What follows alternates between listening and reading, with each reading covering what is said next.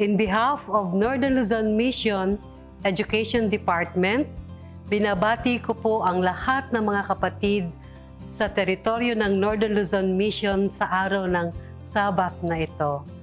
Kami po ay nalulugod na kayo ay kabahagi namin sa pagpapaunlad ng ating departamento.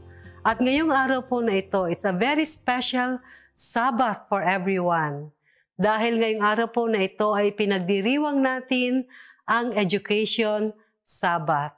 Sa araw po na ito, tayo po ay makakatunghay ng uh, programa na kung saan ang aawit ngayon ay ang mga mag-aaral po natin from different schools of Northern Luzon Mission. At pagkatapos po nila, ay mapapakinggan po natin ang isang napakagandang mensahe na inihanda ng ating speaker. Ang ating pong speaker sa oras na ito ay walang iba kundi ang ating pinakamamahal na si Pastor Nestor C. Rilioma. Siya po ang kasalukuyang presidente ng Northeast Luzon Adventist College. At pagkatapos po niyang magsalita ay mapapakinggan po natin ang kanyang tatlong mga anak na magbibigay ng appeal song. Walang iba kundi si Nini, si Chen at saka si Dondon. Alam niyo po mga kapatid, ang mga anak ni Pastor Elioma, sila ay mga bunga ng ating mga paaralan. Lalong-lalo na po ang ating speaker. Marami po siyang na-influensyahan upang paggamit ang mga estudyante sa gawain ng Panginoon. Alam niyo po mga kapatid, The influence of Adventist education is for eternity.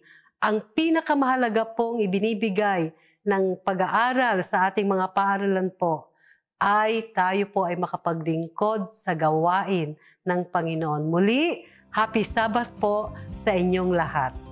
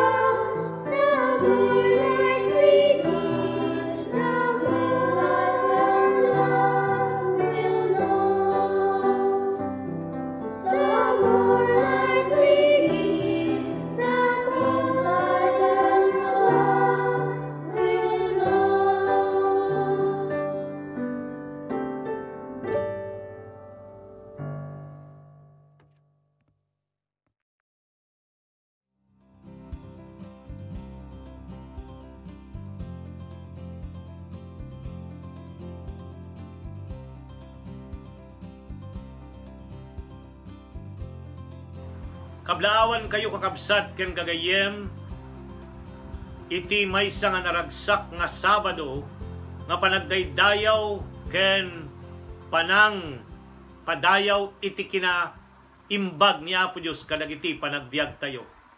Iti panangidadaulo iti Northern Luzon Mission iti Education Department. Iti daytoy nga aldaw ti Sabado na idedikar nga agpaay iti panangi-promote iti Adventist Christian Education.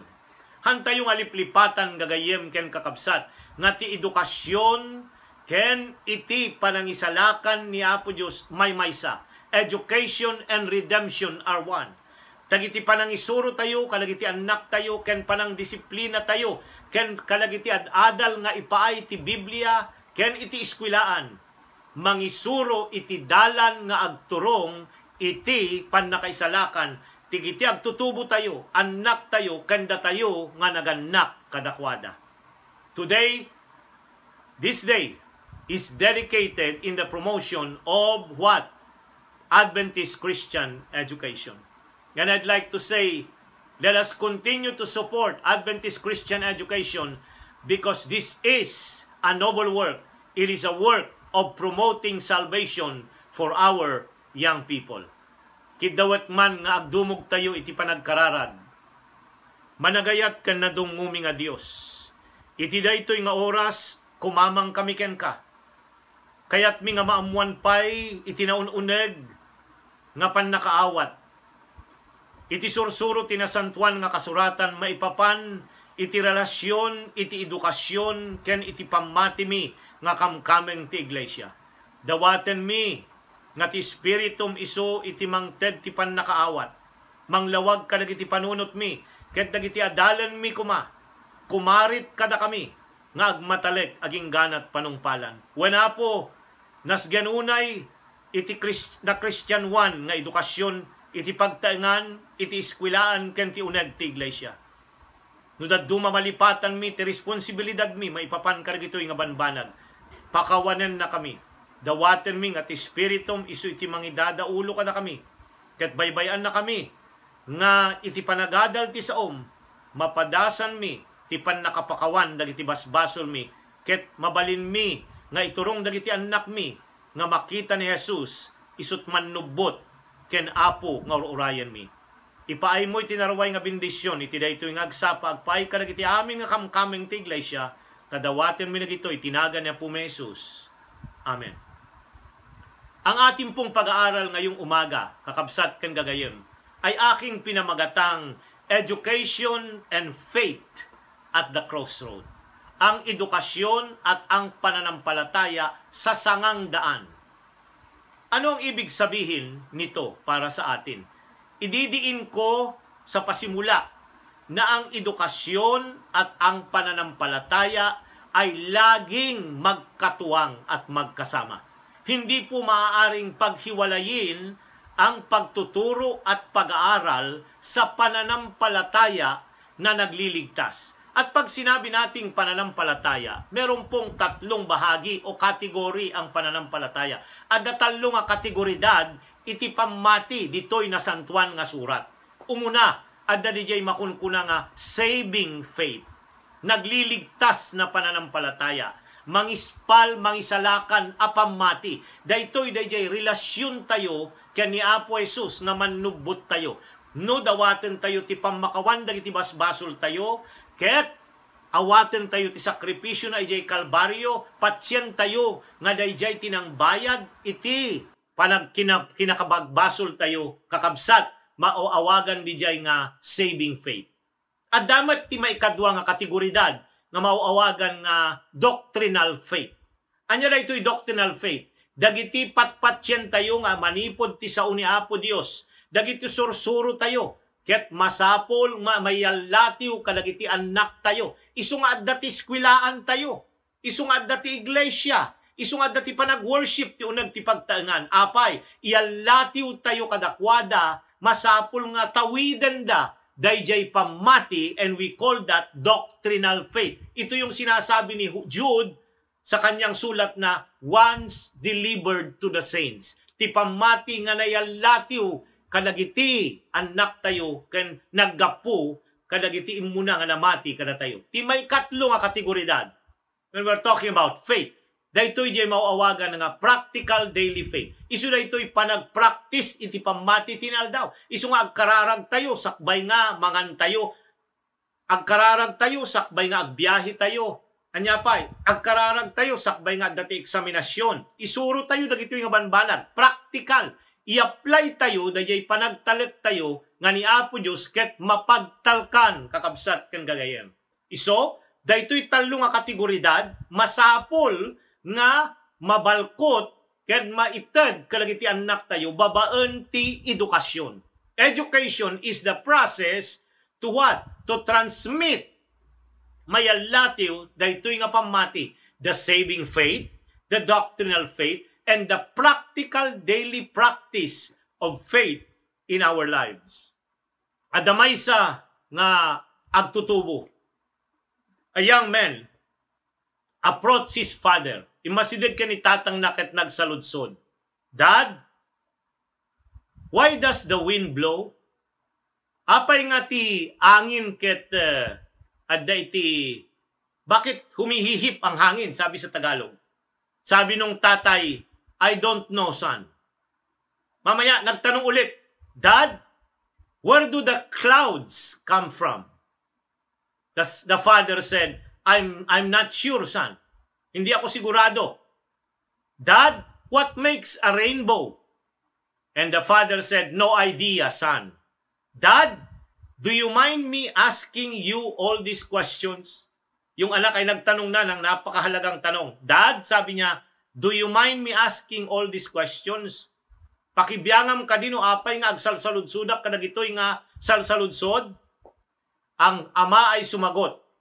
Ket kununana, not at all, son. How else are you going to learn if you do not ask? Kakabsat ken gagayem, adu dagitihan tayo nga ammo nga banbanag. Ngam ni Apo Dios ammunam amin.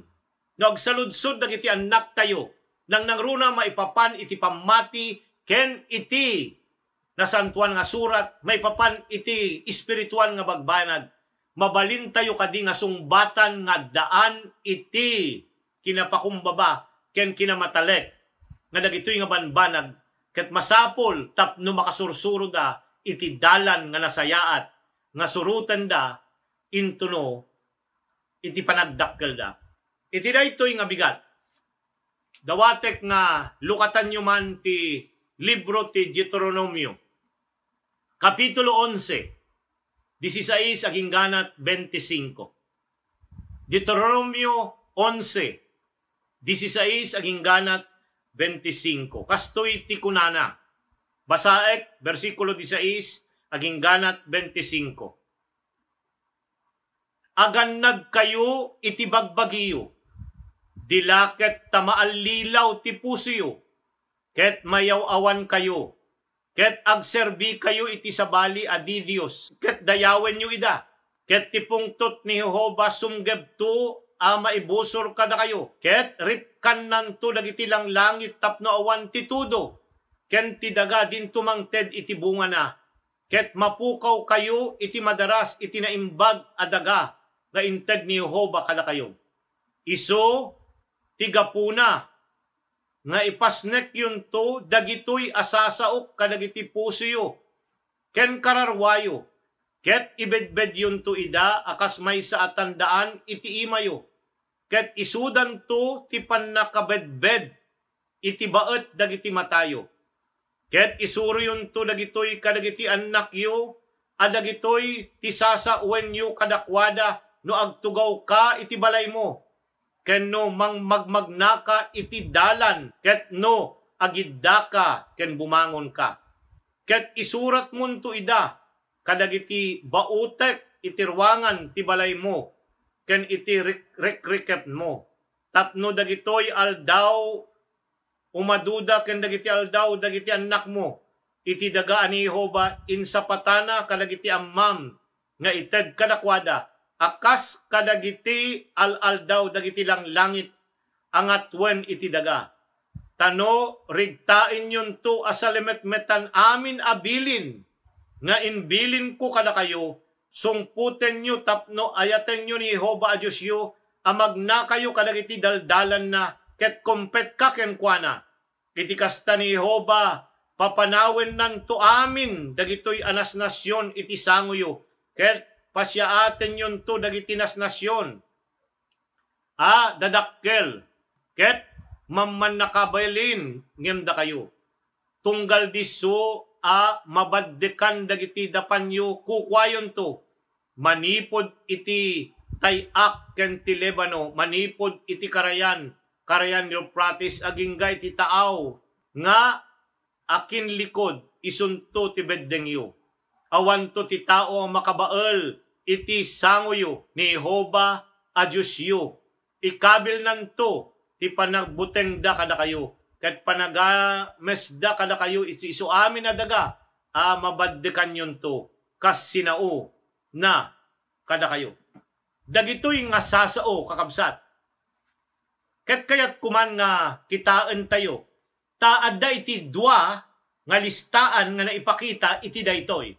Kitain nyo, adda dagiti warning nga naited nga agpaay kada kayo kan siyak. Datayo nga mamati nga dati relasyon ti edukasyon ken iti pamati. There are warnings given in these passages. Ngem addamet dagiti admonition wenno balakad nga inted ni Moses kadagiti anak ti Israel idi ngan nganidan dumanon iti daga nga ingkari ni Apo Dios kadakwada. Kitaan tayo dagiti warnings nga naited ti daytoy.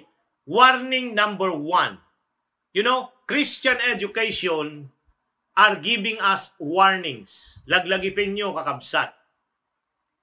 Na Christian one nga Adventista nga edukasyon, dagiti manursuro ket ipablaak da dagiti warning wenno dagiti anya kunana ijay dagiti pablaak nga masapol nga maamuan dagiti anak tayo. Okay? What are these warnings itatta nga bigat? Okay? Umuna nga warning. Basahin tayo, kitain tayo uh, Deuteronomio 11. Anya ti kunana ijay kakabsat, this is is. Aganad kayo. Kunana ijay. Itibagbagiyo. These are the warnings. So Christian education put warnings to our young people yan. Bago mangyari ay adda iti warnings nga ited tayo. All our instructions should provide warning. Anya ti umuna, ay imbaga na to'y, dilaket tamaal lilaw ti puso yo. Number one, deception. Pannaka alilaw. Daytoy ti trabaho ni Satanas, mang alilaw. False education today deceive people. Ayan. Ti saan nga pudno nga sursuro nga edukasyon allilawen na dagiti anak ni Apo Dios. Kitaan nyo, naggapuan ti tao kunada ket evolution. Naggapu tayo iti may nga cell nga nag-evolve ket nagbalin nga uh, batit nga animal dimakkel aging ganat naging chimpanzee or monkey at nagbaging tao. This is deception today. Ado dagiti mga sursuro ti Big Bang hanga naggapo iti ima ni Apo Diyos si pan nakaparswa ti lubong dagitoy ket makapaalilaw nga sursuro. So let's be very careful. Why do we need to have Christian Adventist education? Because it, we are fighting a battle against deception. Dayta. Ket dadaulen na daytoy nga panakaalilaw dagiti pamati tayo ken panagtalag iti nasantuan nga surat. May kadwa na kayat ko nga italmag itatta nga. Kunana ditoy iti may kadwa nga pagannadan tayo. Ket mayaw-awan kayo. Yan. Kunana jay maiyaw-awan kayo. In the other English version, turning to other gods. Maiyaw-awan kayo ket agserbiti sa bali nga anya di Dios. Kakabsat ken gagayem, we serve the true God. Ngem nadaduma Anya dagiti Dios dagiti tattao ita ti kinasirib, ti kinabaknang, ti kina powerful, pan nakabalin, political power, anyapay, scholarly power, dagitoy ti italmag ket sukatan na dagitoy nga banbanag ni Apo Dios. Turning to other gods. Christian education should help us focus on the true God. Isuna ti mangted ti kinasirim, haan nga Dios di jay kinasirim. Isuna ti mangted ti kinabaknang, haan nga Dios ti kinabaknang. Isuna ti mangted tinasalunat a panagbiag, haan nga Dios itinasalunat a panagbiag. Laglagi pentayo dayta, Christian education must promote the centeredness of God in our lives. May katlo nga kayat ko nga italmag nga babala, warning. God will become angry. Nabasa yung kakabsat ng nagyutatay, versikulo 17, Ket tipong tot ni Jehova sumged to ama ibusor kada kayo. I'm not preaching about wrath today of God. No. But I am telling you, part of our Christian Adventist education is God is getting angry. Ni Apo Dios kita niya. Makapungtot, apay, gapo, talagiti tao dito'y lubong, kita niya. Haanda nga agtalet ken kuana. There are few places, at daman manunga lugar dito'y nasantuan na sulat, where we see God's anger aroused. This is probably not something we should take lightly. God's anger can bring some pretty consequences. Laglagi pen tayo kakabsat. Ngano ni Apo Diyos ket makapungtot at dati dahilan na at dati gapuna no apay nga makapungtot. So ti may katlo nga italmag nga babala wenno panaganag tayo ket tayo nga pungtuten ni Apo Dios. Let's not make God what? Angry. Let us follow His will. Let us do His bidding and let us live a life that is pleasing to Him. Di may kapat nga warning. Kunana ditoy kita niya, rip kanat to dagiti lang langit tapno awan titudo. He will cover, he will close awan titudo. This is obviously will affect the water supply. There will be less to drink water to use in cooking and cleaning. And there are other consequences as well. Alam ninyo, daytoy awantitudo nga ibagbagana, ipakita na nga ni Apo Diyos at dati kontrol na ti amin nga banbanag, kakabsat ken gagayem. Ni Apo Diyos italmeg na, iti na Christian nga edukasyon nga, ni Apo Diyos iti source iti amin nga naimbag nga banbanag, titudo ket na imbag. Okay? Ited na iti tudo kuna ni Apo Isus iti anya nadangkes kenti nalinteg. Ngem ada ti tiyempo nga ni Apo Dios han nga ited daytoy tapno isuro na iti may nga banag. Bigbigen na nga naggapuan dagiti amin nga banbanag. Christian education teaches us that God is the source of everything including the rain in our lives. Ti may kalima nga kayat ko nga italmed itatta nga bigat. Kunano ditoy no crops. No crops. Ket ti daga din tumangted ti bunga na. When there is no rain, it is hard to produce crops. This is one of the things that would happen. Nung niapo Diyos santa yung abigbigen nga paggapuan ti bendisyon, agraman iti tudo, isuna mo ti bendisyon, nga mangted iti bunga, dagiti mula tayo, dumteng ti didigra, kakabsat. Life is becoming very difficult today because people do not recognize God as the source of everything. Today, Christian education reminds us once more that God sustains what He has provided for you and me. Number six, warning. Kunana dito'y katanya, Ket mapukaw kayo iti madaras. Death ang kamatayan. Today, in this pandemic time, ang kamatayan ay nagaganap. But the only solution to the problem of sin is God. Don't you know that Christian education should always explain that God is the source of life and He is the solution to the problem of death? No other teachings in the world answers that. It is only God, ni Apo Diyos laeng, ti mabalin nga mangisuro, nga isuna, iti mang solbar, iti parikot, iti ipapatay. Inability to survive would come. No water, no food leads to death. All of this are consequences of living a life that is not obedient to God's command. Itatta nga bigat, daytoy Deuteronomio nga libro, particularly chapter 11, na isurat 40 years after the giving of the Ten Commandments. Na, naparabas iti upat apulo nga tawtawen iti panagbiyahe da panagba, panagbanyaga da ijay lit ijay lit ang ket na isurat da itoy as a reminder muli ito'y isinulat as a reminder to them that God has been very good to them. What are the admonition? Okay? The admonition, so we give warning and we give admonition.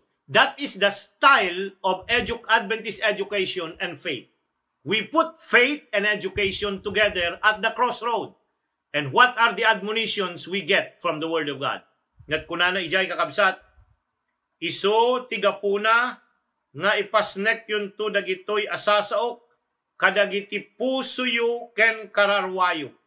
Ipasnek, in the English it says, fix the words to your heart and soul. Anya, dagitoy nga sasao, dagitoy sao nga day tinasantuan nga kasuratan, masapol nga, anya, maipasnek, maitalmeg, maipaganetget, kadagiti anak tayo The first place where the command of God are to be affixed is in our hearts and in our soul.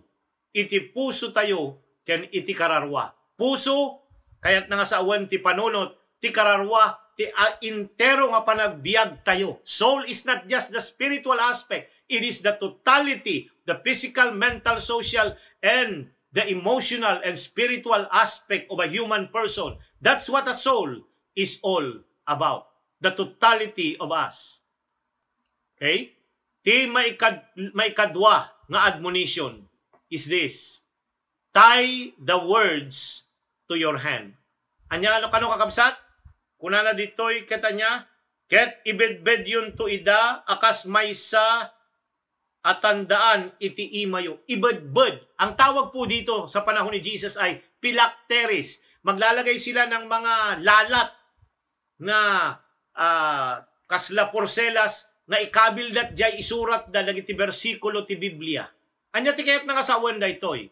Italmag na ditoy kakabsat ken gagayem nga anyaman ti aramiden tayo ipalagip na in Christian education what we do, what we practice should be based on the Word of God. Dagiti aramiden tayo, dagiti sagiden tayo, dagiti trabahuan tayo, italmag ti na Kristyanuan nga edukasyon nga daytoy makipangipangrangar ipakita na iti sursuro iti nasantuan nga surat.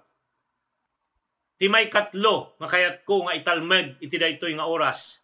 Fix the word to your forehead. Anyat ko na na jay? Fix the word into your forehead. Ket isudan to ti panaka bad-bad tibaet dagiti matayo. Ditoy forehead. I would guess that all of us have had a time when we had a hair or something else that was hanging in your line of vision, but you cannot get rid of it. It is hard to focus on anything else when you know that things is something within your line of vision. It serves as a distraction to anything you are trying to do. It seems to always be on your mind. So, ti kayat na nga sa awan ikatem, dagiti anyaman nga banbanag, nga manglapad kin ka iti panagpanunot, iti nasayaat, ken panagpili, iti pagayatan ni Apo Diyos. Masapul dagitoy nga isursuro, dagiti naganak, kadagiti anak da. I believe this is what God had in mind when He told the Israel that they were to bind the commands to their foreheads. They were to be like the hair hanging in your eyes it was to be a positive distraction. The Israelite ended up taking this literally. They made little boxes or pouches that they attached to their forehead. It was more important for them to have command in their mind rather than just dangling from their forehead. Daytoy masapol nga mangidalan kadagiti anak tayo nga agaramid iti husto nga panagkeddeng iti inaldaw-aldaw. Decision is done through the mind. Christian education should help our children make the right choices in their Christian experience. God's greatest purpose is the command that would always be on our mind. Dayjay pagayatan ni Apo Dios isukumat tinang nang runa nga da kalag iti panunot tayo. Daytoy tinang nang runa nga trabaho iti na Christian one nga panagadal. Ti maudi nga admonition. Teach them to your children. Nyat kunana jay kakabsat, teach them ket isursurum to ida kadagiti ti kadagiti anya anak you adag ito yasasa uwan kada kayo ket agtugaw kayo ti balayo ken ti magna kayo ken ti agidda kayo ken bumangon kayo. Kakabsat ken gagayem itatta nga bigat. Ni Apo Dios italtal magna daytoy han tayo nga idipendilaeng iti mamaistro ken mamaistra iti panang isursuro ti na Kristyanuan nga edukasyon. Laglagi penyo adda ti tallo nga saka ti na Kristyanuan nga edukasyon. Anya dayjay adda ti iglesia, adda ti pagtaengan, ken adda ti eskwilaan. Han nga mabalin nga eskwilaan laeng ti mangisuro kalagiti anak tayo. Masapol nga isuro tayo ida. Tulungan tayo ti iglesia ken ti eskwilaan. Tapno dagiti anak tayo dumakkel nga adda panagbuteng da kani Apo Dios. Daytoy ti goal ti Christian education. Itatta nga bigat I'd like to make an appeal. I beg of you, fathers, to pass your faith on to your children. If we are not fervent in our faith, then we are sacrificing the next generation. Our children need to see that faith in God is a priority in our lives. Ulitek kakabsat, agpakpakaasiak itatanga bigat, iti daytoy oras ti panagdaydayo tayo. Lalalo kada tayo nga amma. Nga niya, yallatiw tayo ti pamati tayo kadagiti anak tayo. Nuhan tayo nga mabalin nga ibigted tinabara nga pamati kadakwada isyak sakripisyo tayo iti sumaruno nga henerasyon. Our children need to see this faith in God is a priority in our lives when kunana iti maudi nga admonition adapay panglima kunana ito'y write them on your door frame. I believe that this is another way in which we will keep the command of God before our eyes. This must be something important for God to suggest. All of this way to keep this information before us. It is something that must be central in our lives. Kadagiti, paraangan tayo dagiti ridaw ti pagtaengan tayo. Sumrek ken rumwar dagiti anak tayo ket mabigbig da kuma nga iti pagtaengan tayo na kristyanuan nga pagtaengan. Sumuportay ti na kristyanuan nga edukasyon. Isursuro na nga ti irewarda ken ti serret ti pagtaengan ni Apo Diyos kumatikadwada nga mangisuro ken mangted iti balakad kadakwada. There are some benefits of living this kind of life as I conclude my message today. In verse 20, kunana ditoy, Ket isurat mun tu ida kadagiti bautek tirwangan ti balay mo, kente rekrekep na. It pointed out that if we live according to the command, then our days and the days of our children will be multiplied. Kakabsat, in other words, we will have a long life. I am sure this means a lot of people in Moses' day because many of them were probably not living long lives. They were now faced with a time of uncertainty like what we are now because they have lived in the wilderness for 40 years. This was grant them stability. This is stability which would mean a lot to many people today. Kakabsat ken gagayem, ya po Dios, siya ayat, ngamangted iti pablaak, nga niya agannad tayo Ken, adamot dagiti balakad nga masapul nga aramiden tayo. Daytoy ititimakon ko na nga crossroad of Adventist education and faith. And who is who will be at the crossroad?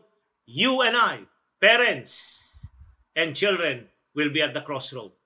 Will you make a decision today to prioritize Christian education in your choice for your children? May God bless each one of us today. Ni Apo Diyos timang bendisyon, iti tunggal pamilya, ang mangikadeng nga i-prioritize tayo, iti na Christian one nga edukasyon, ita, tapno maisagana lagi iti agtutubo tayo, iti nasayaat nga masakbayan, ken iti panang sabat tayo, kani Apo Isus, ti may kadwa nga yaay na. Dahito iti kararag ko, ni Apo Diyos timang bendisyon. Nakunako.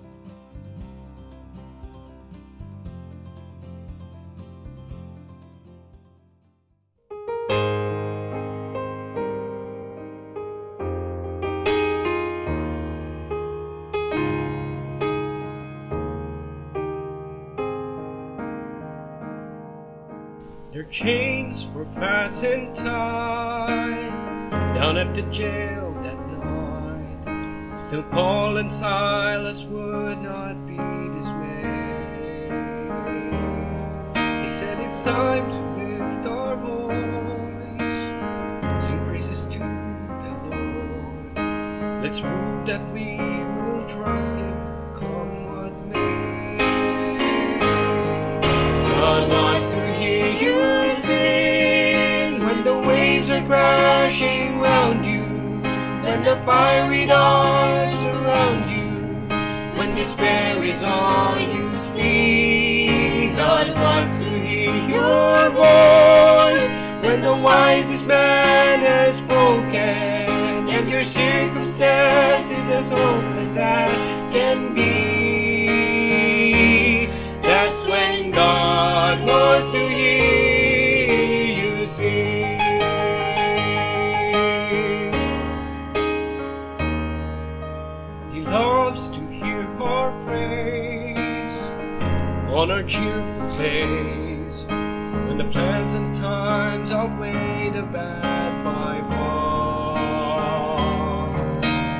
Suffering comes along, and we still sing him songs. That is when we bless the Father's heart.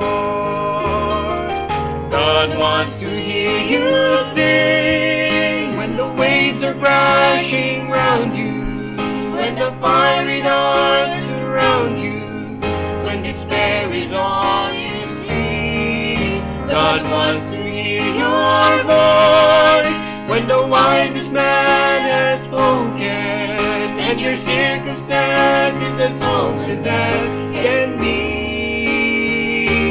That's when God wants to hear you sing.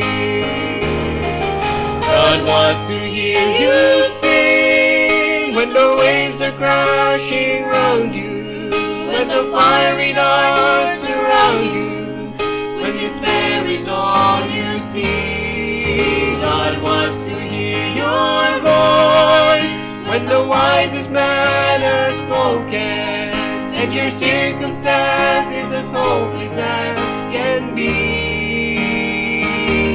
That's when God wants to hear you sing. God wants to hear you.